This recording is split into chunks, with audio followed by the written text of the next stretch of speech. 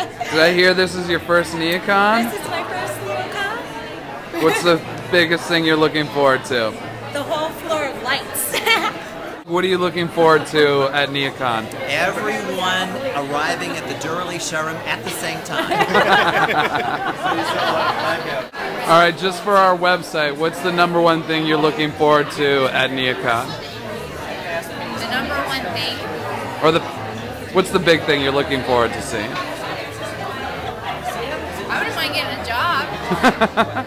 And you? Um, oh, a job would be great. A good internship. Okay, besides the job. Okay. Um, samples. I'd love to take samples. Sounds good. Enjoy. Asian. Product. Yeah. Product. Here. Product.